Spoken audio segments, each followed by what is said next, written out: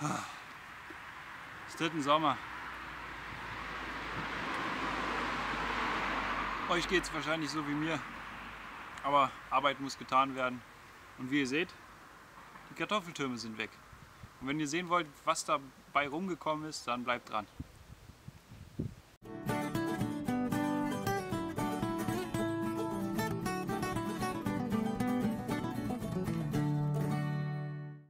Ja, nicht nur wir sollten die ganze Zeit Wasser trinken. Bei den Temperaturen eigentlich auch die Pflanzen. Aber wie ihr wisst, haben wir da ein Experiment gemacht, von wegen Kartoffeltürme hingesetzt und geguckt, was passiert, nicht groß drum gekümmert. Dass dieser Sommer so heiß werden konnte, äh, wird oder wurde und so wenig Regen da kam, konnten wir ja nicht wissen.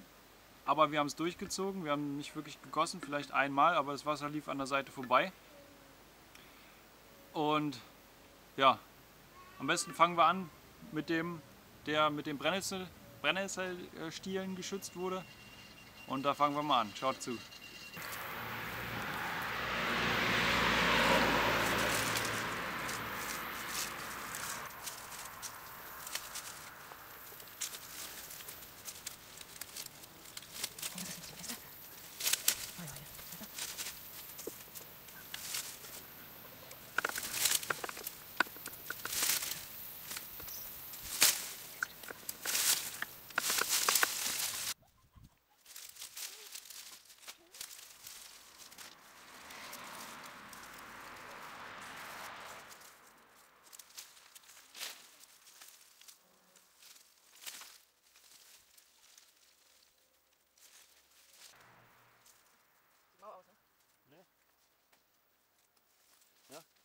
Yeah.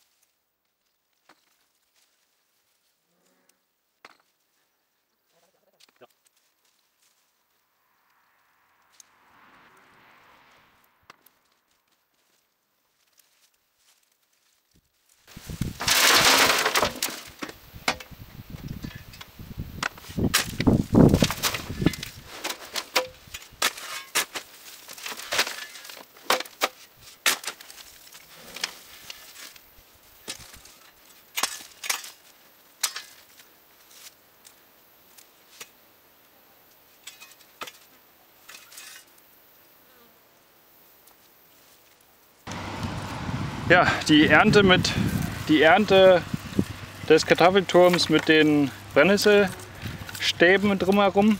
Erstens muss man sagen, dass die rechts und links rauskamen. Sie kamen nicht direkt oben raus, weil sie natürlich da überall Luft gerochen haben und durch die Lücken durchgekommen sind an der Seite. Dann muss man sagen, es war jetzt 2018 ein extremer Sommer, das wisst ihr alle. Und wir haben versucht auch überhaupt nicht zu gießen. Wir haben vielleicht, wenn es hochkommt, einmal, also zu, zu, zusätzlich zum ersten Mal angießen, haben wir vielleicht zweimal insgesamt gegossen sozusagen. Und wenn man sich die Kartoffeln jetzt so die, die, die Sachen hier anguckt, die Laura ist es natürlich, also die Sorte Laura, dann sieht man hier überall so kleine Nipsel noch dran. Die meisten habe ich schon abgerissen und die fliegen in der Erde rum. Aber hier sind überall so kleine Nippel noch dran, also auf ganzer Länge sogar noch. Das heißt, wäre mehr, äh, wäre mehr Saft da gewesen, mehr hier Wasser, dann wären die wahrscheinlich alle noch was geworden. Und auch insgesamt, wir haben fünf Kartoffeln reingemacht, also vier ganze, eine halbe. Ja, äh, ne?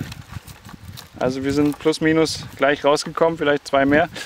Dann hat sich noch eine Maus eingesiedelt bei uns. Da zweimal eine Kartoffel angefressen von der Maus. Und wenn man hier guckt, die ganzen Kleinkram hier, das wäre auch alles mehr geworden, wenn es mehr Wasser da gewesen wäre. Ne? Also die Dinger trocknen auch schnell aus, das habt ihr gesehen, staubtrocken. Also dieses Jahr besser als letztes Jahr, aber noch nicht optimal. Interessant, was dabei rausgekommen ist, oder? Jetzt kümmern wir uns mal um den zweiten mit der Pappe.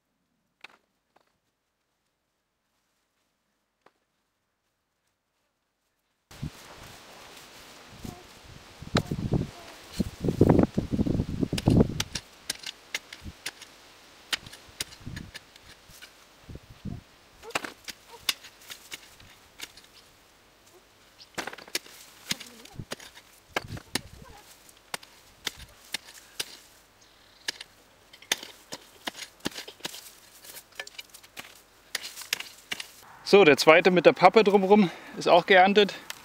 Und dasselbe Spiel, die Pflanzen hatten auf jeden Fall viel mehr Potenzial.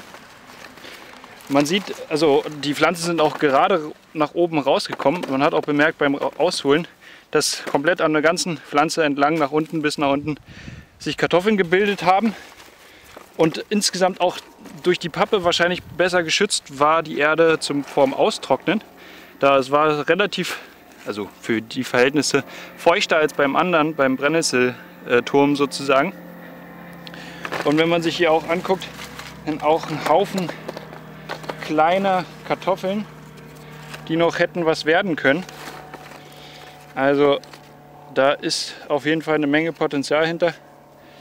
Und es gibt ja auch Systeme wie zum Beispiel ein Regenrohr in die Mitte, also ein einfaches Rohr, ein dickes, diese orangenen dicken Rohre in die Mitte oder irgendwas in der Art und Löcher rein und dann da drinnen immer, immer mal wieder komplett Wasser reingießen, weil die zwei Mal, die wir gegossen haben, ist das Wasser eigentlich auch nur am Rand vorbei geflossen und auf den Boden gesickert, also nicht wirklich in den Turm hineingekommen. Daher, wenn man das Ganze noch so gestaltet, also könnte wahrscheinlich die Ausbeute hier auch wieder fünf, fünf bzw. vier ganze Kartoffeln und eine halbe Ausgangsposition. Und man, also da kann man nicht meckern, wenn man weiß, ne? nicht gegossen, nicht, nichts, gar nichts gemacht mit denen. Und so sieht es trotzdem aus. Also der stimmt einen echt positiv, das Ganze nochmal zu wiederholen. Hoffentlich nicht mit so einem Sommer, dass man so gießen müsste, sondern dann wieder mit natürlichen Regen, der von alleine kommt und nicht äh, monatelang ausbleibt. Ja, die Pappe schien am besten zu sein bisher. Ne? Also schützt vorm Austrocknen. Gut zu wissen fürs nächste Jahr. Und dann gehen wir jetzt noch nach hinten zu dem Kartoffel zu den Kartoffelkübel. Zu dem Kartoffelkübel. Kartoffelkübel. Und dann gehen wir jetzt noch nach hinten zu dem Kartoffelkübel. Und dann gehen wir jetzt noch nach hinten zu dem Kartoffelkübel.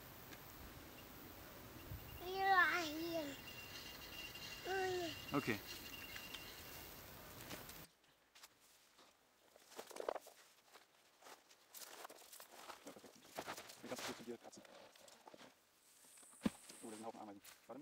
Und hier Eier und Würmer.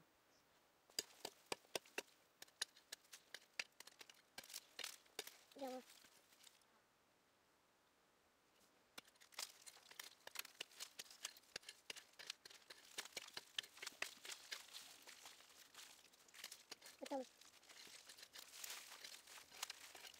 Was mit den Würmern? Da würden sich die Kinder jetzt freuen. Da Eier und Ente. Ja. Oh.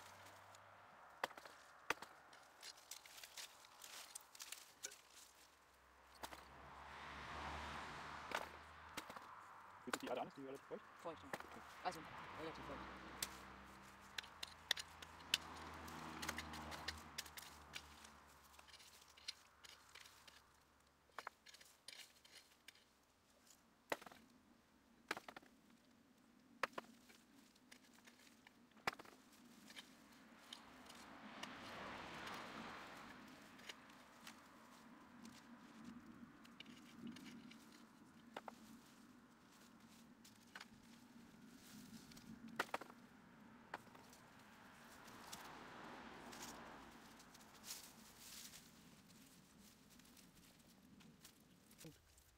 Ja, ein bisschen angefühlt. Okay.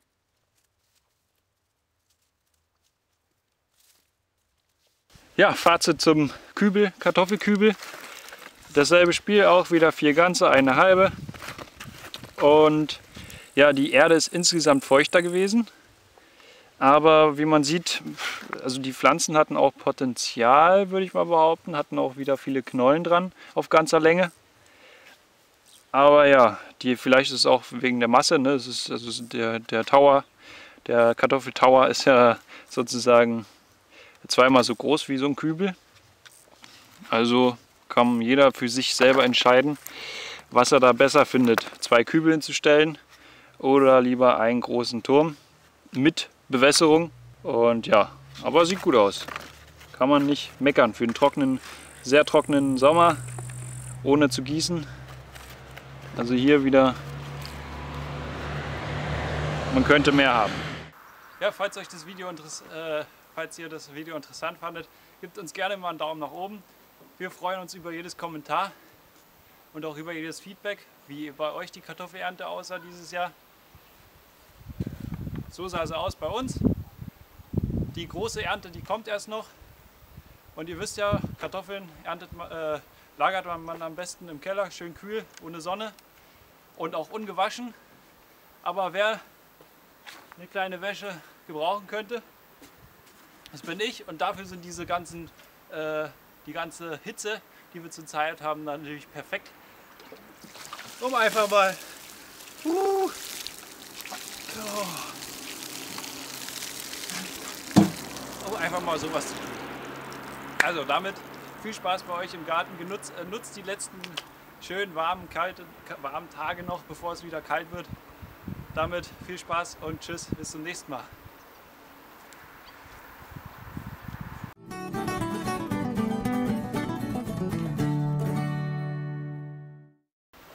Oh, schön kalt.